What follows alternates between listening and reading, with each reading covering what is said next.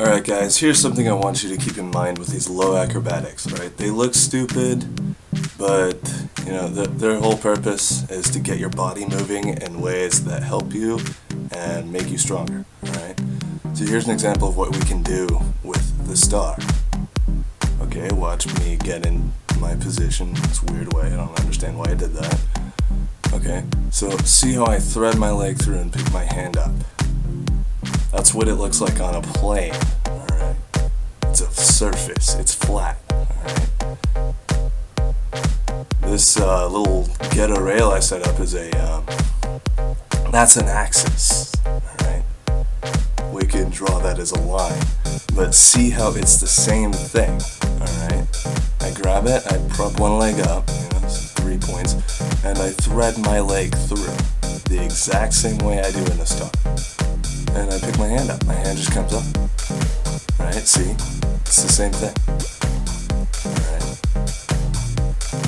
It's just on the ground. It looks a little different. It looks like breakdancing, but you can see, thread the leg through, pick the hand up. Alright? If you're in trouble,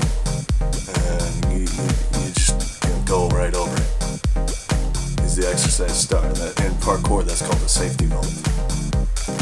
It's the same thing. And here's an example of what you can do. Same movement. Instead, you, know, you don't put your foot down.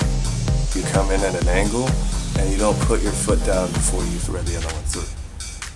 So you only have one point of contact. That's your hand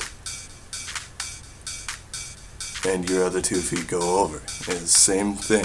You thread that bottom foot through. Alright, this is called a thief vault in parkour. Okay? And see how it works?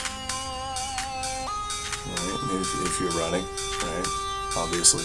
If you're doing it in parkour, you're going to be running. And there it is again. Oh, I almost forgot. I did mess up that first time, so, uh, I wasn't really paying attention to the video, I'm sorry. okay, so now here's an example of another low acrobatic we could do. To do the reverse of a thief vault, to do the lazy vault, that's the um, bicycle you see here. Alright, see how I can just string it together, you know, kick my legs up. It's the bicycle with the high kicks. And see how it just turns into the lazy vault when I do it to that um, rail. I, I, just did that by setting up two sawhorses. I didn't actually expect the sawhorses to be able to take my weight. I'm 200 pounds. And these sawhorses were really flimsy, so... And that was a bit of a surprise. It was pretty good. Now, I've never done the lazy vault before, really weird for me to step off on, uh, you know, my inside foot like that. So I couldn't really do it running. so that's why you don't see it. And there's there's Moose. He's refused to give me the ball so he doesn't get it thrown. There's the thief vault again. That was actually my attempt at a lazy vault. I just turned it into a thief vault because um, stepped off on the wrong foot. and there we go. You can run through with all of these.